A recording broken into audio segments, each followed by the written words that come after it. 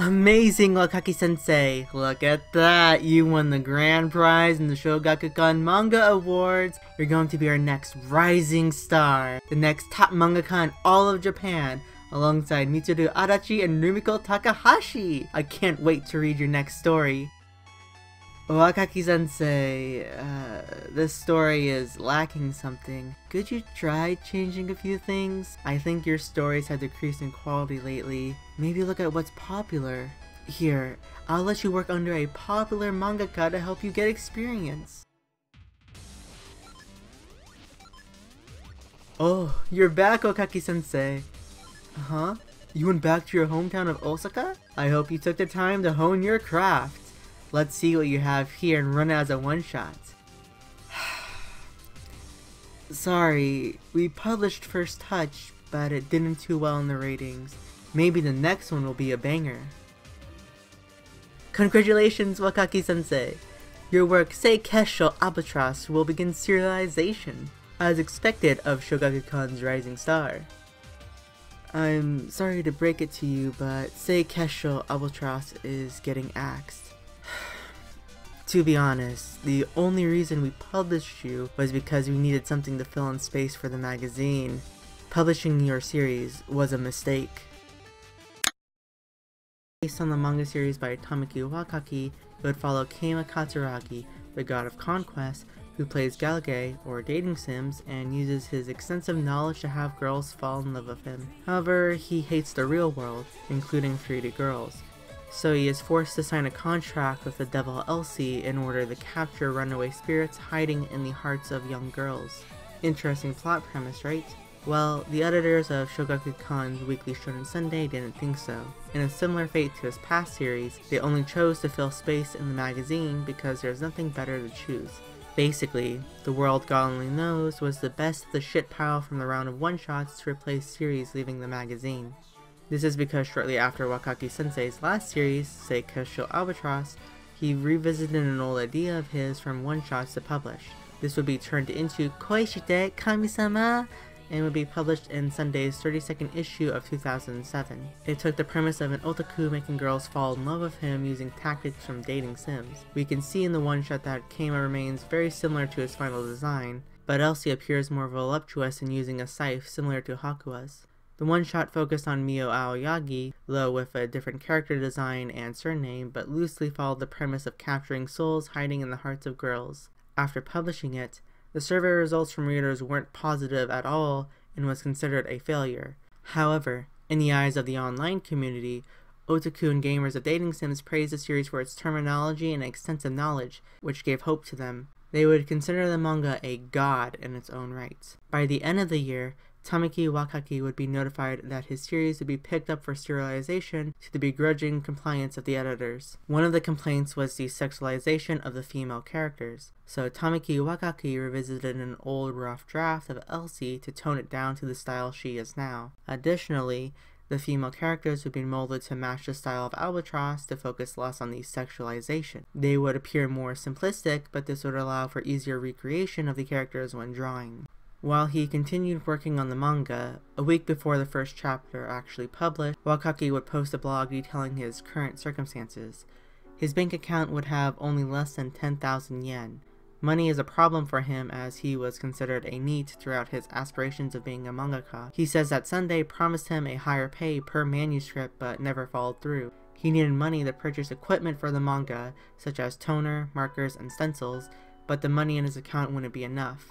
With a week left until his new series starts, he had three options reduce the quality of the first chapter, go into debt, or cancel his pre order of Ninja Gaiden 2. He went with option 2.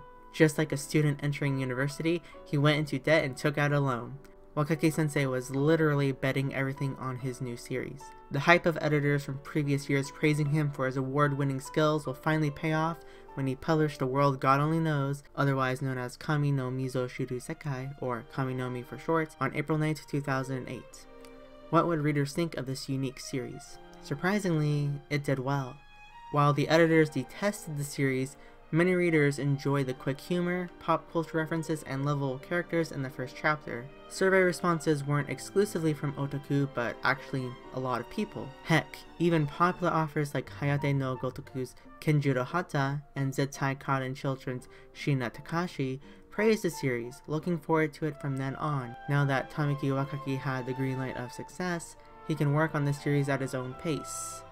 Yet states this is probably why Albatross was cancelled. Previously, Albatross was story-centric, with lots of foreshadowing. Wakaki Sensei took a slow pace with the series since Sunday is lenient with new authors on giving them a year or so with their series to test waters. Slowly unraveling the story appeared to be its downfall, so he instead sped through many of the first arcs of Kaminomi.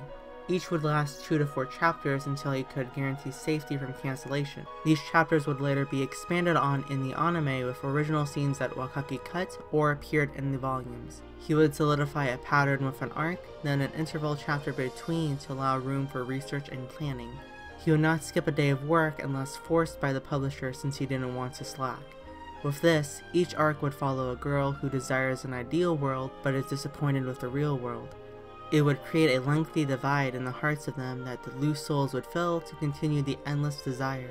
Keima and Elsie would call these holes or gaps, which is a term Wakaki sensei created to explain his philosophy of the real versus the ideal, which brings us to...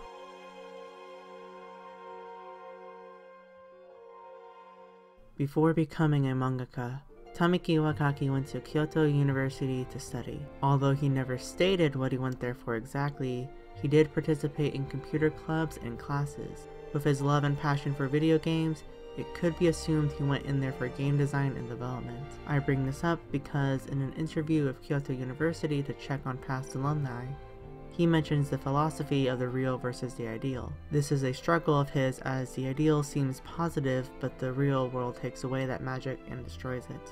He experienced this while attending university where he had a perception of his ideal self that other people influenced his perception on. Being considered a genius not only in academics, but shortly after becoming a mangaka at 21, winning awards and being called a rising star will make you think you are the ideal self and need to be successful. Yet, when encountered with other people who do not think that, reality sets in and you lose sight of the ideal. Wakaki sensei became disillusioned by the praise and started losing confidence in himself, rejection after rejection. This created a gap in his heart at the time. He became a NEET out of college that played video games since his idea of being a bona fide genius appeared to be a lie. He had to learn to accept the real world no matter how much he hated it and to use the ideal as a goal. He may never reach that goal, but people come for the character story, and that is what Wakaki sensei wanted to communicate with his series. Philosophy is about ideas, and he struggled to share those ideas with words to people, so he decided to convey his ideas in manga for people to understand. That idea being the philosophy behind Tamiki Wakaki and Kaminomi. The gaps in people's hearts comes from the difference between their real self and their ideal self.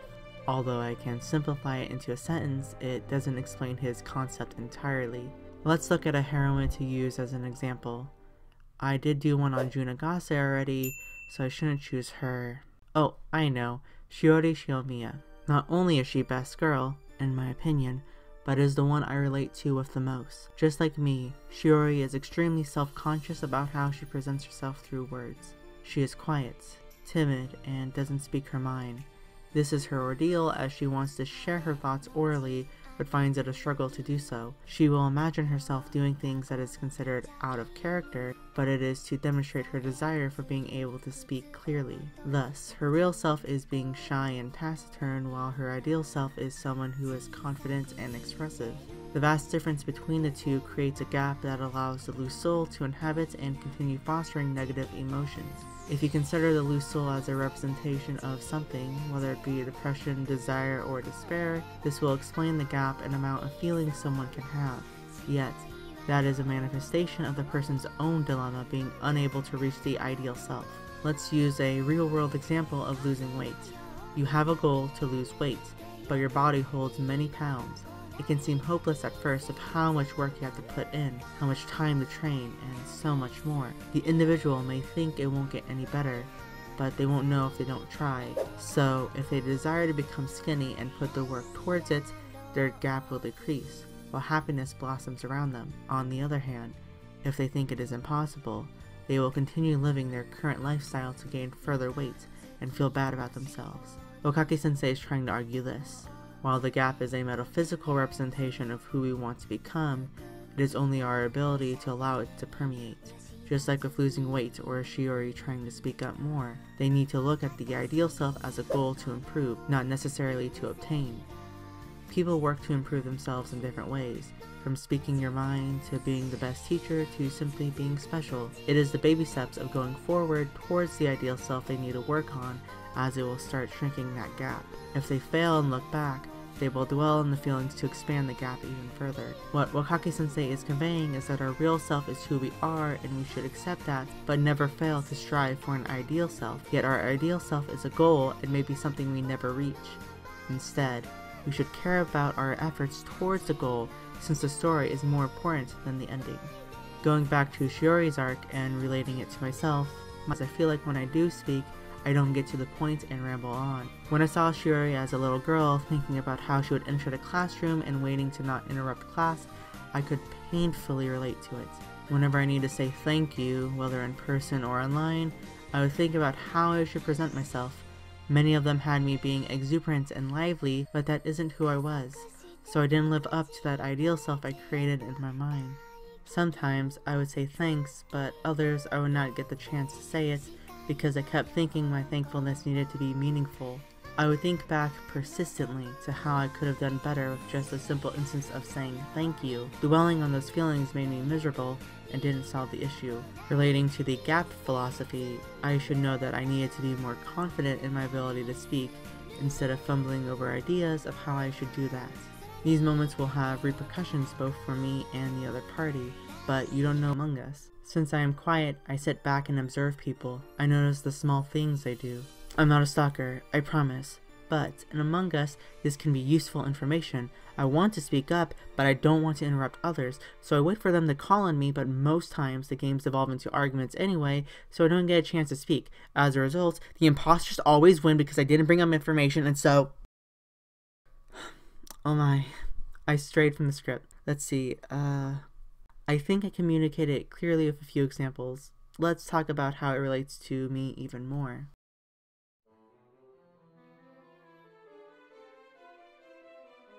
Back in my Psyren retrospective, I mentioned my first ever manga purchase was Volume 7 in Japanese. My second ever manga purchase was Psyren Volume 8 in Japanese. Until this time, I really only purchased Psyren volumes, but then a year later, I was able to do it.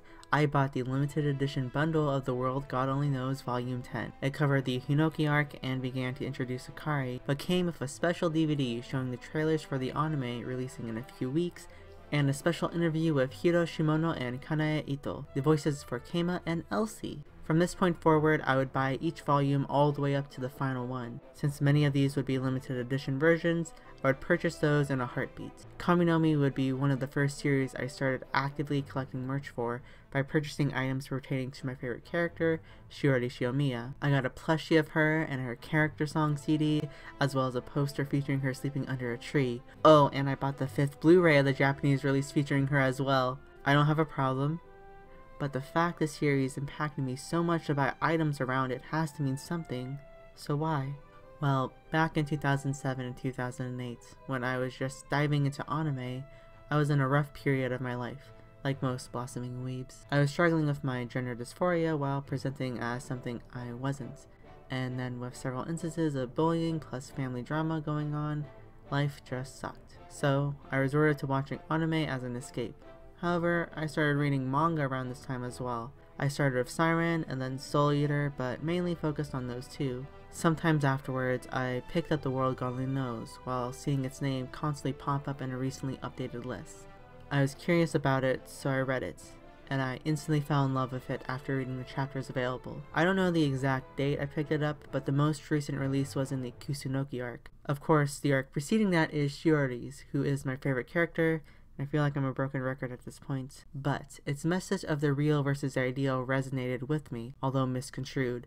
Originally, in my adolescent mind, I took it as me needing to achieve the ideal. This is extremely misguided from Wakaki sensei's message, but I think my rationalizing at the time was that these characters needed to fulfill their ideal roles, but that wasn't the case.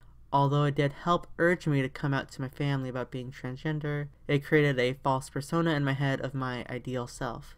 My real self was a quiet boy that kept to themselves and played video games so much it could be labeled as an addiction. Meanwhile, my ideal self is that of a beautiful woman who is outgoing and lively that dresses pretty and enjoys everything a girl does. I had to learn the hard way that my ideal self was nothing more than a fantasy. One of the common misconceptions I hear about the trans community, as well as from my own experience, is that changing genders would make me a different person. I change my name, my appearance, and my routines, and this somehow makes me someone different. This is practically what my ideal self amounted to a new person. It wasn't actually me because I kept thinking I would try new things I hated, think of the world differently, and become an entirely separate entity the truth of the matter is that my ideal self shouldn't be different from me, but actually resemble me. Just because someone thinks I changed to a new person doesn't mean that is the case. I was and would always be me. Although it seemed unattainable to me, I needed to learn that my ideal self is based around me. My personality, my interests, my hobbies, everything about my real self needs to be based within those parameters. The self I was idealizing was sexist following stereotypes of what society thought needed to be a girl, and I dropped my love for gaming, anime, music, everything about me that made me me in pursuit of this false equivalence. Basically, I wanted to be a basic bitch, but that wasn't me. I was born a girl, dressed in a boy's body, not a boy wanting to be a girl. I started to change my outlook on things as I grew older from learning more about the world, and this connected with what I read during the climax of the Heart of Jupiter arc. At some point, life became too stressful to indulge myself with things I enjoy, including watching anime and reading manga. I returned to the series in 2013 when I sped through the content I last left on at the beginning of the new arc. This arc shows Keima needing to make drastic decisions in order for him to return home, but they are extremely painful for him to do. It demonstrates the constant cycle he's been living in by repeating similar procedures with each conquest, creating a cycle of idealness. For him to escape it, he needs to exit the cycle by completing it, and the symbol of cycles is shown no better than in the opening themes.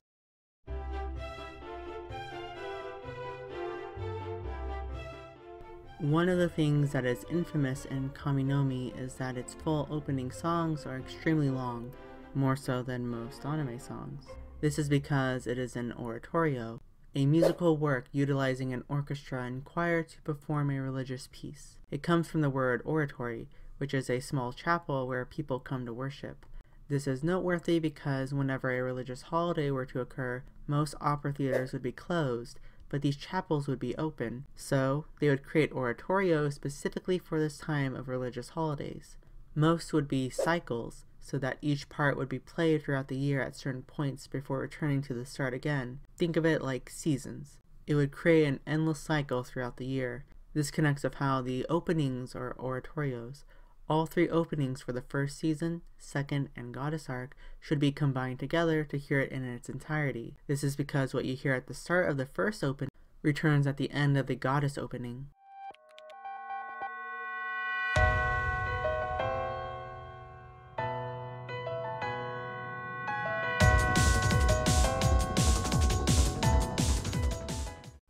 It completes the cycle by literally returning to the beginning at the end of the song with the same refrain. Several oratorios took note of this and created stories where the characters return to the beginning, suggesting an endless cycle that can't be escaped. However, when you mirror this with what comes in the manga, it seems even more poetic. The Heart of Jupiter arc is the final one in the series. It focuses on Keima going back 10 years shortly before meeting Tenri in order to start the series.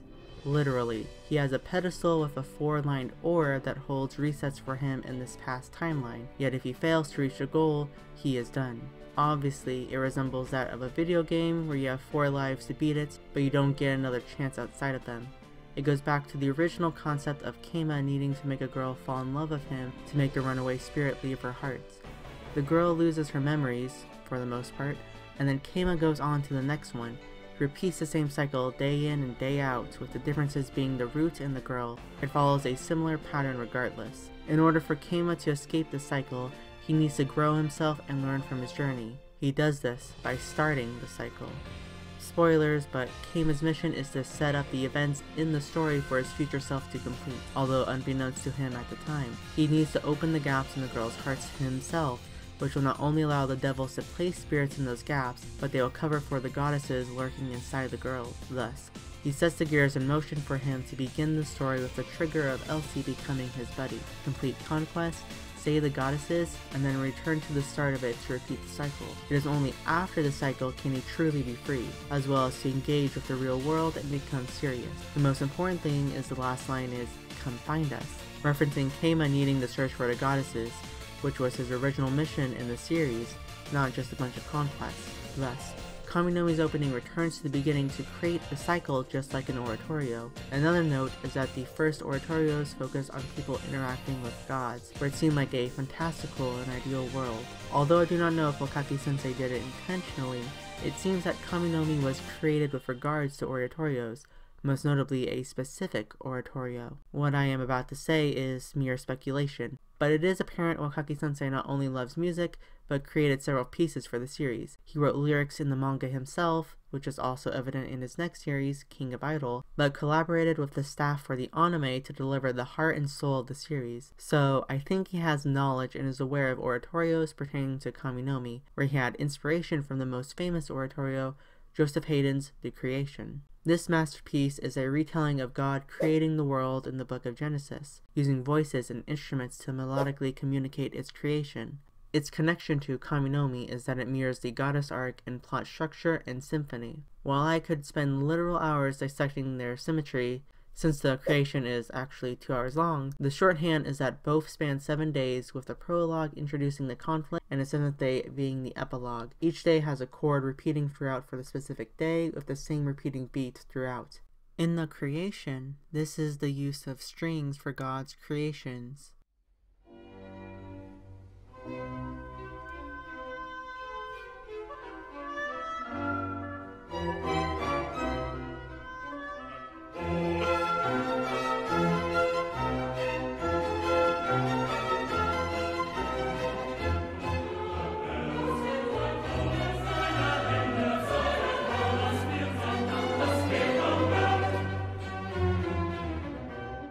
While in The Secrets of the Goddess, it is the snare drum playing in the background for all goddess parts.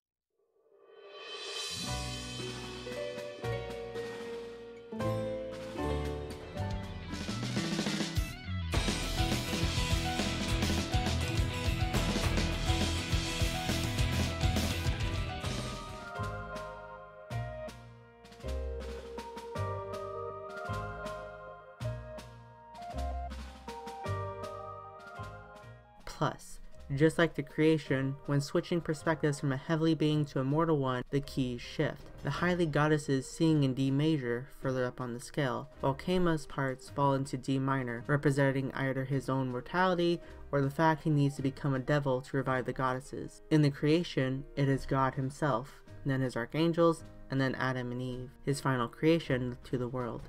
Although the creation isn't like most oratorios that actually cycle through, it does so in a poetic sense. The start focuses on devils running the world before God said, Let there be light. And it ends with Adam and Eve praising God just before they incite the fall of humanity by eating the devil's fruit allowing devils to ruin God's creation once more. This can mirror events in the world God only knows overall, but is definitely attuned with the goddess arc. God bears his creation only to have it ruined again by devils, just like the opening oratorio cycle through to create a world only Keima knows, the world God only knows.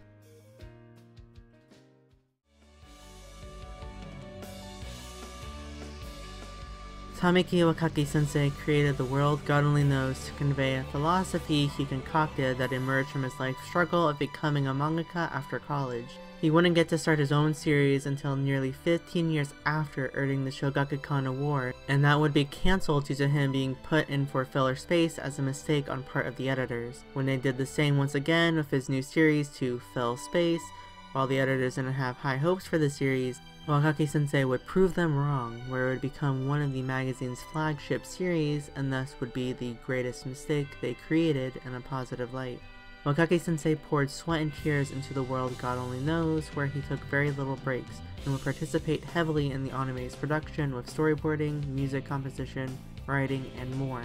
It is a series that means very much to him and the myriad of fans around the world. It is a shame he hasn't gotten the same praise of his new series he started, although his recent one he is currently publishing is popular enough to warrant an emergency reprint of Volume 1. Hopefully it can reach a similar status as Kaminomi. On a more personal level, it helped me realize to improve myself and not chase after a false ideal in my head. It introduced me to a slew of characters I love and enjoy that are dear to my heart. Plus, one of the few things I remember from my college music theory class is the oratorio's history and developments. I had the biggest epiphany when I connected the two together, which is a great way to learn. With that out of the way, from me and a whole world of fans that God only knows, thank you, Tamiki Wakaki Sensei, for creating a magnificent series and a happy 10 year anniversary of the anime to you. Thank you.